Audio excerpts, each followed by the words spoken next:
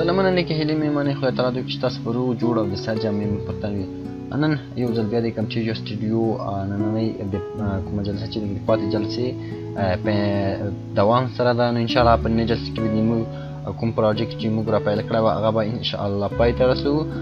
دغه پروژیکټ چې و په دریو جلسو کې موږ ان شاء الله پای ته رسو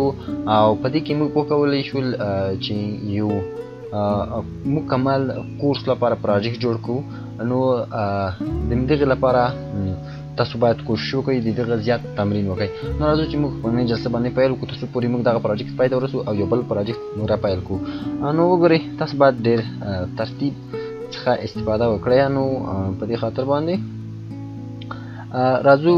چې نوې پروژه را پیل کو وګورئ زه دا یو څه اندازه پورته راوړم تر څو پورې د دغو کوم شی کوم انټرویو چې وه د دې سره وصل او پیوسته راشي نو په تېره جلسه کې موږ دا وکولی شول چې موږ څنګه کولی شو یوه ویډیو راوړو په بلې ویډیو کې د بلې ویډیو د پاسه نو ولې ضرورت کېږي تر څو یوه ویډیو د بلې ویډیو د پاسه موږ راوړو ځینې وخت ضرورت کېږي تر څو پورې موږ خپله موضوع په ډېر ښه ډول سره خپل لیدونکي ته تشریح کولو لپاره موږ له یوې ویډیو څخه استفاده وکړو مثلا د غولم معرفۍ څخه استفاده وکړو نو نن غواړم په نننۍ جلسه کې تاسو دا وښیم چې موږ څنګه کولی شو د خپل ویډیو یا خپل کورس د لا ښه کېدو لپاره د متنونو او شیپونو څخه استفاده وکړو د انیمیشن په ډول سره یعنی ځینې کورسو کې کېدای شي تاسو لیدلی وي چې په ډېر ښه ډول سره یو شیپ راسي وروسته د شیپ نه متنونه راشي یعنی کله چې هغه ویونکی کوم څه تشریح کوي په ترتیب سره دغو متنونه راځي نو د دغه د ښه پوهېدلو لپاره زه له دغه کوم ویډیو چې وه له دې نه یو کاپي را اخلم نو د مثال په ډول سره وګورئ نو دا د سټیج مربوط هم د سټیج را پورې نو زه کوشش کوم تاسو ته په سکرین باندې دا وښایم سمه ده نو د مثال په ډول سره دلته ویونکی چې ویونکی مثلا زه یم غواړم یو څه تاسو تشریح کړم خو دغه تشریح سربېره شي په لیکنه بڼه هم غواړم تاسو ته ولیکم ځینې وخت یعنی ضرورت کیږي په دغه ډول ایډیټ ته ضرورت وي سمه ده نو د دې لپاره تاسو باید لومړی یو شیپ راواخلئ سمه ده یعنی هغه شی په هر ډول شیپ چې تاسو وغواړئ را اخیستی شئ مثلا په هر رنګ کې چې وي نو مثلا زه لومړی کوشش کوم په تور رنګ کې راواخلم ځکه رنګ بیا وروسته ډېر په اسانۍ سره زه بدلولی شم دغو مثلا د شیپ هغه کوم اوږدوالی چې مثلا د هایما خبرې په شلو ثانیو کې خلاصېږي ځکه دا وروسته د ایډیټ نه معلوم وروسته د ایډیټ نه دا موږ کولی شو مثلا کله چې موږ دا کورس ثبت کړه په ایډیټ کې موږ ته وروسته معلومېږي چې د ما خبرې په کوم ځای کې فایل شوې د دغو موضوع مربوط څو کوم ځای کې پای ته ورسېدلې نو مثلا دا ما د شلو ثانیو لپاره دغه شیپ راواخیستله وګورئ نو سکرین چې کوم دی هغه هم په تور رنګ کې دی سمه ده یعنی په تور رنګ کې چې دی نو کوشش وکړئ مثلا د دغو کوم رنګ چې دی هغه ورته تغییر کړئ مثال په ډول سپین تای کوي چې په سپین کې به څنګه راځي او دغو شیپ مربوط کوم مثلا اوپاسیټي چې د هغه ښکته راوړئ وګورئ مثلا په دغه ډول د اوغو اپاسیټي ښکته راوړئ نو کله چې تاسو د اوغو اپاسیټي ښکته راوړله اوس تاسو کولی شئ چې له متنونو څخه استفاده وکړئ د مثال په ډول سره زه راځم یو متن را اخلم سمه ده د دغو شیپ د پاسه یې اچوم یعنې دغه متن زه د ټایټل په حیث هم کاروم وګورئ ټایټل مثلا دلته زه لیکم سمه ده کښې ته غواړئ ټایټل ته یو بل شیپ ورکړئ هغه هم تاسو کولی شئ چې مثلا په هغو کې ولیکئ مثلا زه لیکم اباوټ سمه ده اباوټ اټ نو هغه چې هر شی موضوع دې تاسو وي سمه ده نو دلته تاسو پونټ ټاکلی شئ هر ډول پونټ چې زړه وغواړي ټاکلی شئ دلته رنګ ورکولی شئ د مدني مثال په ډول رنګ کله چې تاسو مثلا دلته رنګ ټاکئ لومړی باید شیپ انتخاب کړئ نه د نه متن چېرته نه متن کوي کنټرول ای باندې کلیک وکړئ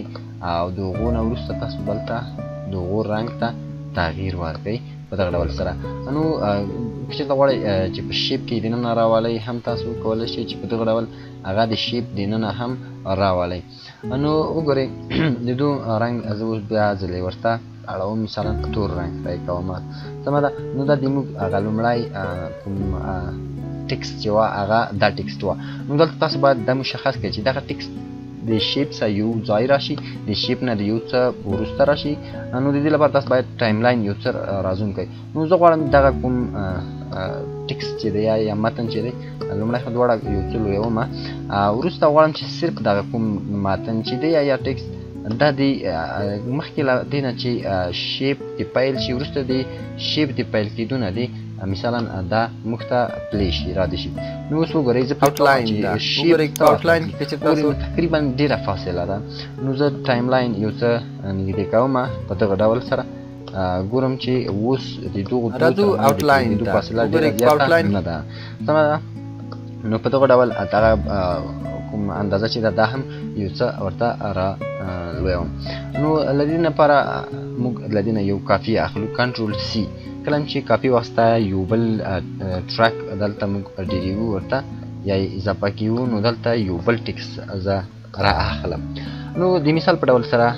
کله چې ما مثلا دغه ټکست راواخیستله مثلا د دغو ټکست نه د وروسته لږ وروسته راشي اما کله چې دغه ټکست پای ته رسېده دا د پای ته ورسره ورسېږي نو زه راځم وګورئ په دغه ډول سره کلیک کم او د دو نه یو دا کومه کاپی چې موږ اخیستې وه دا را اخلم مثال په ډول سره دا زه کوم شپېته اندازه یې ورته یو څه کوچنی کوم په دغه ډول وګورئ نو د شیپ اندازه هم زه مثال یو څه را کوچنی کوم اوکې او شیپ دواړه ټکسټونه چې دي هغه زه انتخابوم په دغه ډول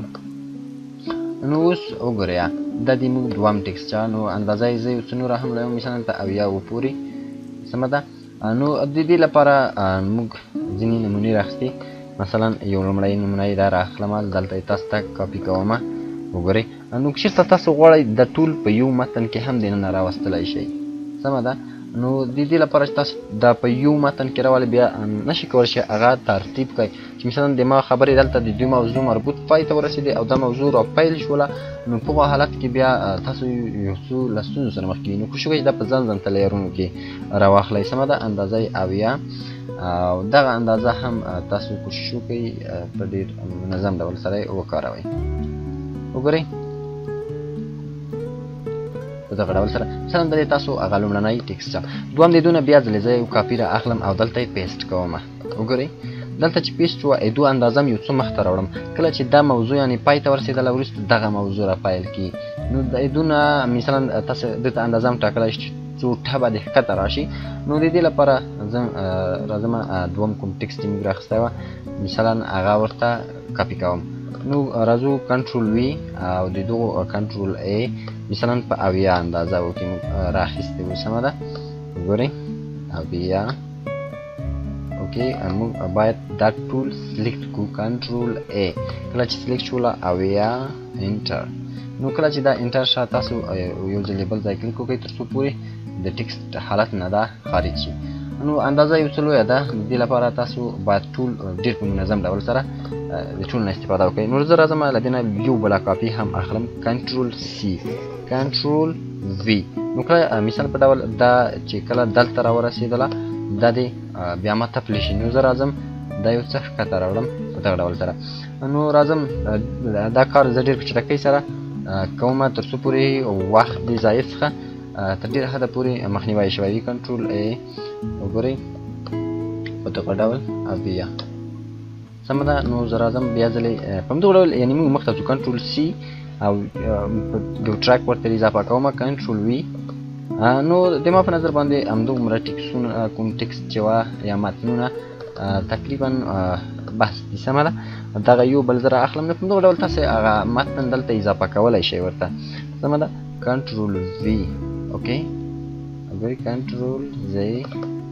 کنټرول وی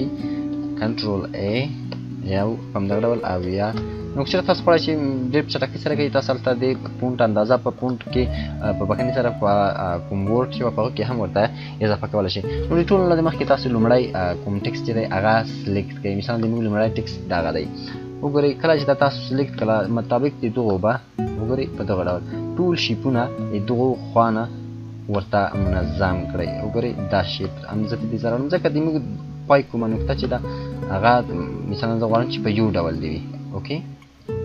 وګورئ په دغه ډول سره نو دغه هغه مربوط ټکسونه و چې مثلا موږ دلته وکارول په دغه ډول سره نو تاسو د شیپ کوم رنګ چې دی هغه هم ورته تغییرولی شئ سمه ده په دغه ډول اوکې نو راځو دلته مثلا یو اندازه چې کومه ده هغه ورته ټاکو بخښنې سره کوم اکشنونه چې دي هغه ورته ټاکو نو شو کوي یو ډول اکشن شیپ ټیکسټ هر څه ته وکاروئ سمه ده نو زه راځم ټیکسټو ته مثلا مثال په ډول سره وګورئ چې مثلا د هغو کوم د راسته طرف نه چې دا د ټیکسټ د مخ ته اضافه شي وګورئ په دغه ډول نو زه راځم لومړی دغه ټول سلیکټ کوم ټیکس نو راځم د ټولو ته زه په یو ځل اپلای کوم نو کله چې دا موږ ورته اپلای کړه نو تاسو کولای شئ چې دو هغه کوم مربوط سیټینګونه چې دي هغه هم دلته وګورئ وګورئ سمه ده نو زه دا ټول سلیکټ کوم نو که چېرته راشئ دلته نو تاسو کولی شئ چې دلته د هغو سټینګونه هم وګورئ او تغیر یې کړئ رنګ منګ هر څه نو د دې لپاره وګورئ زه راځم دا اوس پلی کوم چې څه ډول ښکاري اما د غول درس نه مخکې تاسو باید هغه مربوط شیپ ته هم یو اکشن ورکړئ نو وګورئ دلته هم زه اپلای کوم دا ټیکسټ د موږ څخه پاتې شوی وه سمه ده وګورئ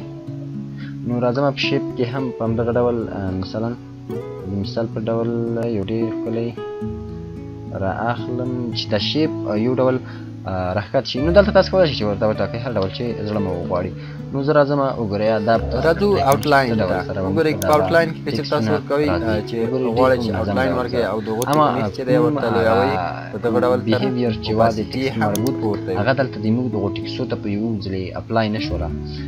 نو که زه چیرته دا ګروپ کم نو کیدای شي ته یو حد پورې کار وار کړي سمه ده دا زه په یو ځلې ګروپ کوم اوس زه راځم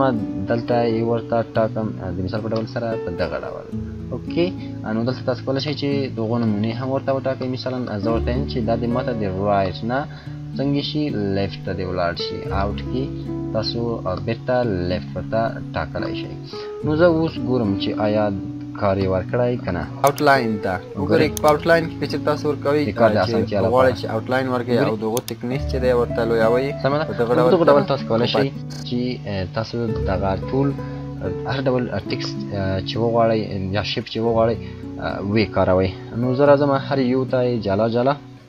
دلته اپلای کوم د مثال په ډول سره وګورئ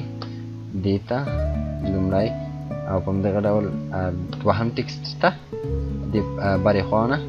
سمانه وګورئ اوکې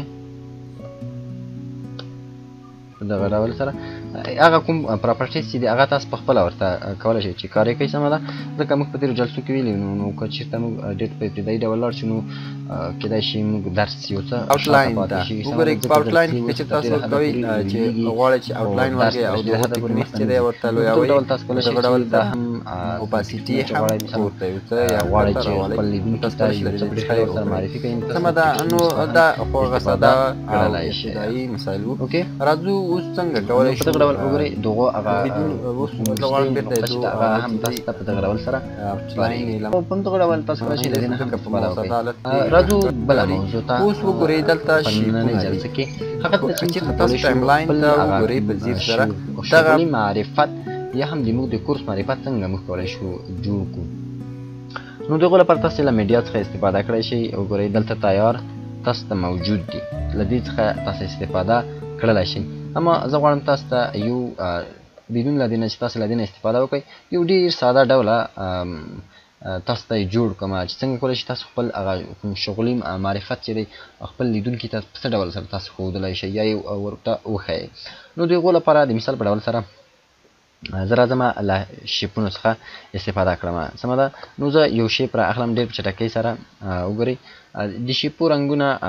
په خپله تاسو ورته ټاکلی شئ چې څه ډول رنګ کې مثلا زه غواړم چې په سور رنګ کې د کوم شیپ چې دی د دې وي دلته اوکې آوټ لاین یې نه بلکې په خپله کوم پیل چې دی وګورئ نو په دغه ډول مثلا دلته دی موږ ته راښکاره شي سمه ده مثلا دلته دې موږ ته هغه معرفت وي دوم قدم کې له دې نه مثلا دا زه ګروپ کوم اوکې لومړی د دو لینت باید موږ وګورو پنځه ثانیې یو څه کم دی مثال په ډول سره وګورئ دیارلس ثانیې صحیح دی دا ګروپ کې تر څو پورې د موږ هغه کوم پروجیکټ چې دی هغه ډېر منظم وي یعنې بدون د دغو ساحې څخه بعد موږ ولاړ نه شو ځکه دلته موږ نوي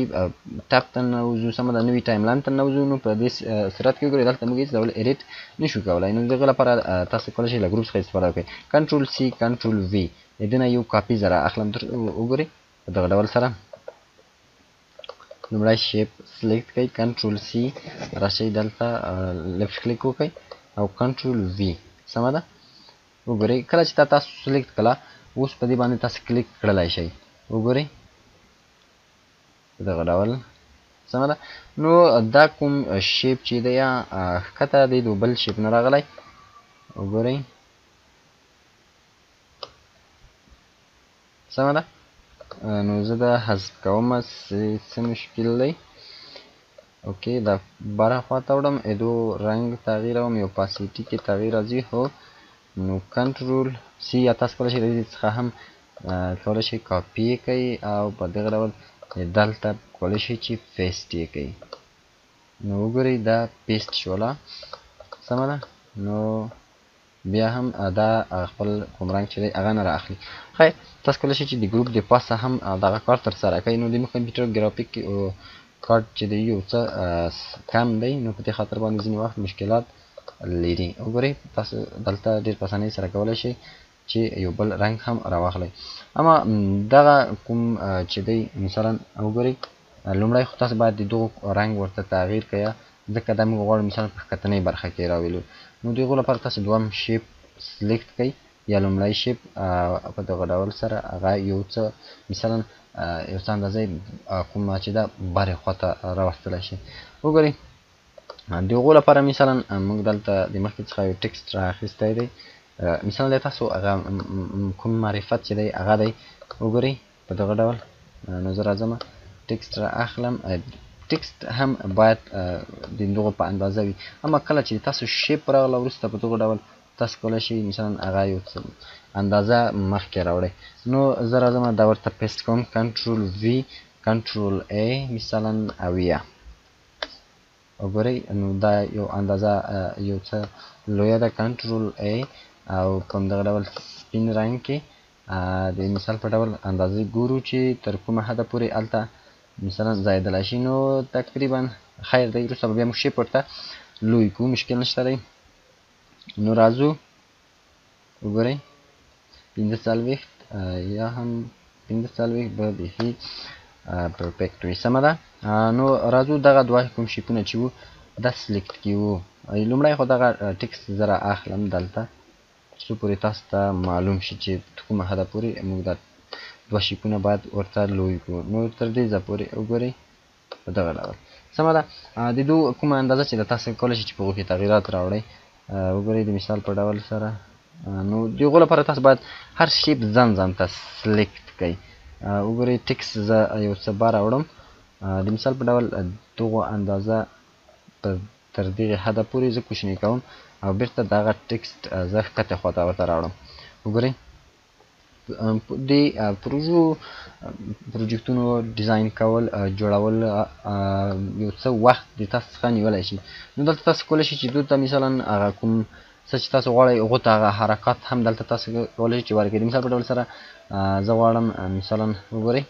ټیکسټ ته لومړی باید ټیکسټ ته یو هغه ورکو په دغه ډول سمه ده او دوم قدم کې کوم شیپونه چې دي لومړی زه دا شیپ انتخابوم د مثال په ډول وګورئ دلته تاسو نور مختلف هغه حرکات کتلی شئ سمه ده نو د مثال په ډول سره زه یو داسې یو حرکت راخلم چې د چپ اړخ نه په ښي اړخ باندې ولاړ سي نو زه راځم اوکې کلیک کوم دلته یو دانه ورته خوښوم د مثال په ډول سره وګورئ مثلا مثلا دغه کوم چې دی سمه ده نو زه راځم دوا دواړه شیپو ته دا اپلای کوم په دغه ډول سره سمه ده نو اوس که زه چیرته تاسو ته دا پلی کوم نو تاسو به هغه سره دغه مجموعه د شیپو ده تاسو دلته هر شي خپل خوښ ته کولای شئ رنګ ورکړئ چې تاسو غواړئ مثلا په خپل ویډیو کې ولرئ په دغه ډول تاسو کولای شئ چې هغه هم وکړئ یعنی بدون د دې چې تاسو له نورو څخه استفاده وکړئ سمه ده نو راځو بلې موضوع ته ځینی وخت ضرورت کیږی چی موږ په خپله ویډیو کی عکسونه وښایو نو دا خو ډیر اسانه کار دی ډیر ساده کار دی نو د هغو لپاره د مثال په ډول سره وګوریا زه یو څو تصویرونه را اخلم راځم چی د مخکی څخه موږ هلته اماده کړی دی اوکی وګورئ نو یعنی ځین اکثره وخت د ضرورت کې چې موږ په خپل کورس په دوران کې له ویډیو څخه استفاده وکړو بخښنې سره له سکرین شاټونو یا هم ځین عکسونو څخه استفاده وکړو په هغو حالت کې تاسو باید دا زده وي چې موږ څنګه کولی شو له عکسونو څخه استفاده وکړو مثال په ډول سره وګورئ زه غواړم مثلا دغه یو تصویر او دغه تصویر یا هم یو بل تصویر هم ورسره سلیکټ کوم مثال په ډول سره دغه یو غواړم چې دا درې واړه په خپل کورس کې د کورس په دوران کې وکاروم نو تاسو کولی شئ چې په عادي نورمال ډول سره وګورئ لومړی خو تاسو باید دا ټول سلیکټ کړئ او وګورئ وروسته راشئ مثلا ویژوال اپیکس ته او دغه چې دی راونډې ډې کړئ ټول په یو ځلي مثلا پنځه هغه اندازه ورکړئ سمه ده او مثال په ډول سور رنګ کې په دغه ډول سره اوس تاسو پورې دلته اړه ده چې مثلا غواړئ ټول شکلونه دې په یو ځلې راشي نو که ټول شکلونه غواړئ چې په یو ځلې راشي نو تاسو باید یو یو سلیکټ کړئ یو د بل د پاسه دغه شکلونه راوالئ په دغه ډول وګورئ سمه ده نو کله اوس دلته تاسو هر یو ځان ځان ته سلیکټ کولای شئ دغه مربوط پراپرټیز ورته تغییرولای شئ وګورئ په دغه ډول سره سمه ده نو یعنی دا په تاسو پورې مربوط دي تاسو دلته غږ ورکولی شئ مثلا چې کله تصویر پلی کېدله یا تصویر تلله ما مخکې د جلسه کې تاسو د غږ کارول در زده کړي وو چې تاسو باید یو څه غږونه ورته پیدا کړئ ساوندونه وروسته چې کله تاسو تصویر پلی کړئ مثلا یو بل ټایم لاین مو مثلا راتلله بخنې سره کوم هغه تاسو شغلي معرفه چې دی هغه راتلله هلته مثلا یو غږ هم موجود وي یو غږ تر سره شي یا پیپ تر سره شي کوم غږونه چې تاسو هلته وکتل نو تاسو په هغې ډول دلته اډ کولی شئ ورته نو کورس د ما په نظر باندې بیا که موږ هغه غږونه هم دلته راوړو نو يو څه به اوږد شي، لوی به شي، نو د دې لپاره موږ له هغې څخه تېرېږو. او په دوم قدم کې که چېرته تاسو غواړئ مثلاً دو ته يو حرکات حرکات ورکړئ، هر ډول حرکات چې تاسو غواړئ چې کله راتلله پای ته رسېدله، موضوع يې تاسو پای ته رسېدله، نو په دغه ډول دغه شي کوم شيپونه چې دي هغه دې راسي. او که چېرته غواړئ چې په جلا جلا ډول سره مثلاً کله چې يوه موضوع پای ته ورسېدله، دوم تصوير دې راشي، کله چې هغه موضوع پای ته ورسېدله، درېم تصوير دې راشي، نو تاسو کولی شئ چې په دغه ډول له هغې نه هم استفاده وکړئ. زه یې په خپل ډیفالټ حالت باندې پرېږدم. راځم ګروپ دې شیپ دې ننه ته. سمه ده. وګورئ دلته یوه مجموعه د شیپ. مثلا دلته دا کوم حرکات چې دي ورته تغیروم یې. وګورئ اوس که زه چېرته دا پلې کړم. نو تاسو دغو راځم ګروپ د شیپ دیننه ده سمه ده وګورئ دلته یو مجموعه د شیپو ده تاسو وګورئ څنګه تاسو ټایم لاین وښیم وګورئ مجموعه د شیپو ده دغه لپاره ډیر ساده ډول سره تاسو د کوم لایبرری چې د کمپیوټر سټوډیو د هغې څخه استفاده کړلی شئ او بدون له هغې نه تاسو کولی شئ چې د انټرنیټ څخه وړیا یا هم هغه میوزیکونه راواخلئ چې هغه د تاسو په یوټیوب چینل باندې تاثیر نه کا یا د کوم کاپی رایټ کلون چې دی هغه په باندې نه راځي یعنی که چیرته تاسو له دغه لایبرری څخه استفاده وکړئ په اکثرو باندې په هغو باندې کاپی رایټ کوم سټریک او کلون چې دی کلیم چې دی هغه راتللی شي نو کوشش وکړئ تاسو له انټرنیټ څخه میوزیکونه راواخلئ او هغه په خپلو درسونو کې دغه نه استفاده وکړئ نو د دې لپاره زه راځم او ګوري په د لایبرری څخه استفاده کړم سمه ده نو په لایبرری باندې زه کلیک کوم اوکې وګورئ میوزیک ته راځم د لایبرری میوزیکونه اکثرا چې دی وګورئ ما تاسو ته مخکې ویلې چې هغه کاپی رایټ کلیم په هغې باندې راتللی شي سمه ده نو وګورئ د هغو لپاره تاسو باید هغه خپلې صفري نقطې ته ورسئ د مثال په ډول سره زه دغه میوزیک را اخلم درس غواړم چې له دې نه استفاده وکړم نو وګورئ تاسو باید مثال په ډول وګورئ هغه کومه انټرویو چې ده تاسو هغه تاسو باید مشخصه کړئ وګورئ مثلا تر دې ځایه پورې ده وګورئ تر دې ځایه دلته دا میوزیک چې کوم دی دا زه کټ کوم کله چې دا کټ شول وروسته له دې نه د دو غږ باید تر ډېره حده پورې کم وي یعنې بیخي چې څومره هم وس کېدلی شي هغه غږ باید ښکته وي تر څو پورې تاسو غږ په ډېر شفاف ډول سره کوم اوریدونکی چې دی هغې ته ورسي نو که چېرته تاسو ساوند کوچنی وه نو تاسو کولی شئ چې له هغې ته کاپي واخلئ او په دغه ډول هغه پیسټ کړئ سمه ده په دغه ډول سره نو په دې ډول تاسو کولی شئ چې خپل کوم بکګراوند میوزیک چې دی یا خپل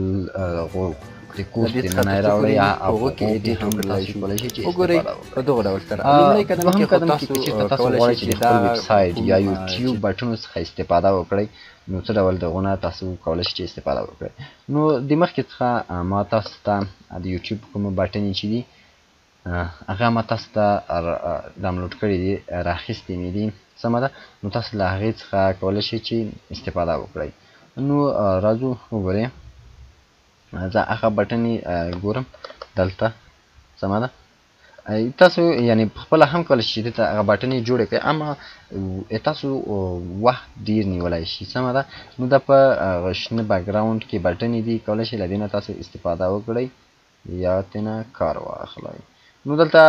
لکه مخکې میم تاسو ته ویلي چې تاسو باید ډېر په دقت سره دغه ویډیو چې دا یا دغه کومې بټن چې دي هغه باید تاسو کټ کړئ نو تر څو پورې هغه کوم اضافي اعلانات چې دي کې هغه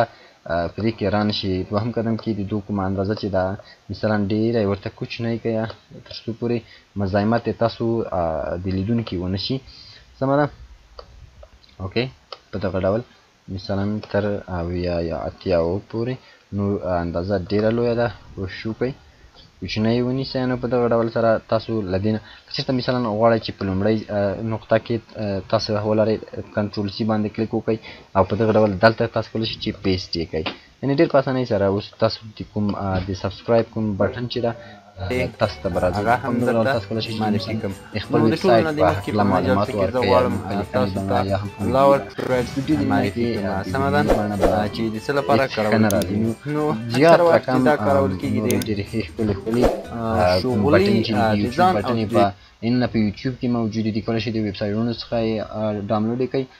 یعنی ډیر زیات ځایو کې تاسو کولای شئ له هغې نه استفاده وکړئ. راځو بلې موضوع ته چې د تاسو مثلا ځینې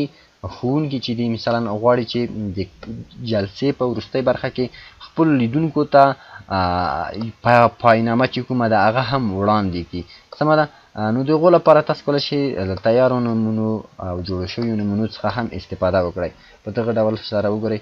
نو تاسو دلته باید یوې نقطې ته پام وي کوم میوزیک بکګراوند چې تاسو غواړئ مثلا هغه کار کوي د مثال په ډول سره وګورئ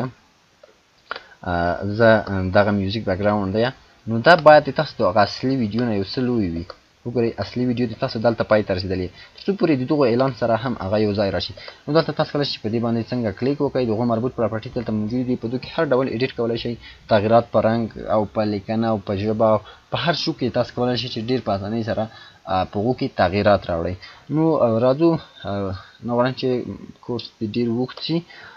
راځو بلې موضوع ته هغه دا ده چې ځینې وخت ځینې ښوونکي غواړي چې برانډډ لرنینګ یا کورسونه ثبت کا یو شرکت لپاره نو دوی غواړي چې په خپلو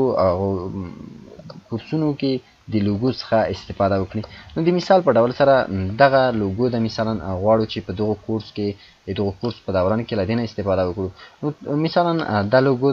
تاسو غواړئ چې په خپل کورس ټول کې استفاده نه وکړئ نو دغه لپاره تاسو دغه لوګو ډیره کوچنۍ کوئ بیا به کوشش کوئ د سکرین په داسې یو برخه کې به هغه ځای په ځای کوئ چې د تاسو د لیدونکو د مزاحمت سبب نشي او دغو اندازه باید ډیره کوچنۍ وي دوهم قدم کې دغو اوپاسیټي باید کمه وي وګورئ که اوپاسیټي څه ته ویل کېږي هلته تاسو دغو هغه نتیجه کتلی شي چې اوپاسیټي څه ته ویل کېږي او که چېرته غواړئ چې د تاسو لوګو کومه لوګو چې د هغه د دایم الوقت د حرکت په حالت کې وي نو تاسو له بیهیویرز څخه یو هغې ته ټاکلی شئ مثال په ډول سره